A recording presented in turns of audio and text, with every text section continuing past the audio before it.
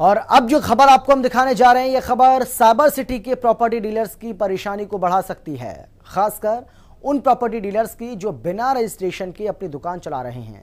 अब बिना रजिस्ट्रेशन के प्रॉपर्टी डीलिंग का काम करने वालों पर राजस्व विभाग सख्त हो गया है और कड़े निर्देश जारी किए गए हैं। आखिर क्यों राजस्व विभाग को यह आदेश देना पड़ा है?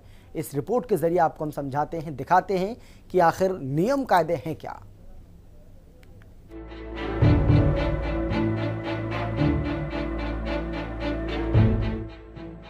Jai Jai Ram property, Verma property dealers, Madan constructions builders and contractors ये आकर्षक नाम लिखे बोर्ड उन प्रॉपर्टी डीलर्स की दुकानों पर लगे हैं, जिनके चक्कर में आकर हम और आप अपनी मेहनत की कमाई को कई बार लुटा बैठते हैं।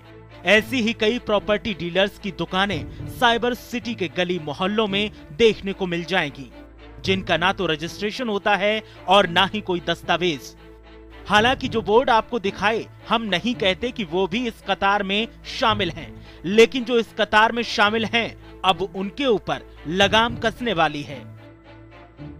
के अंदर टोटल सत्रह सौ इकहत्तर प्रॉपर्टी डीलर जो है रजिस्टर्ड है। बाकी के जो अनऑफिशियल काम कर रहे हैं जो गलत काम गैर कानूनी रूप से काम कर रहे हैं मैं तो ये कहूँगा आम आदमी से अगर कोई भी प्रॉपर्टी खरीदें, क्योंकि बहुत महँगी प्रॉपर्टी यहाँ पे मिलती है और सारी जीवन की कमाई आप उस पर लगाते हो तो रजिस्टर्ड प्रॉपर्टी डीलरों से ही खरीदें। ज़मीन खरीद फरोख्त में धांधली और नियमों को ताक पर रखकर करवाई जाने वाली डील्स पर रोक लगाने के लिए अब प्रशासन सख्त है। सरकार ने भी कड़े आदेश दिए हैं। प्रशासनिक अधिकारी पौध की तरह उगे प्रॉपर्टी डीलर्स पर अब शिकंजा कसने वाले हैं। प्रशासन ने सख्त आदेश देते हुए कहा है कि अगर अपने काम को आगे जारी रखना है तो जिला राजस्व विभाग में पंजीकरण करवाना ही होगा।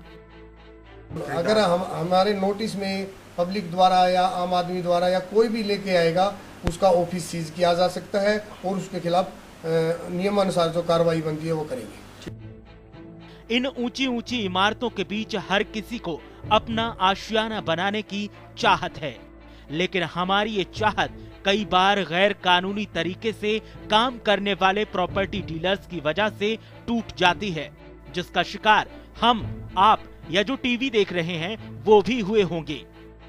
यही वजह है कि राजस्व विभाग अब नींद से जागा है और इन जागे हुए लोगों के खतरनाक मंसूबों को सुलाने की कवायद शुरू कर दी।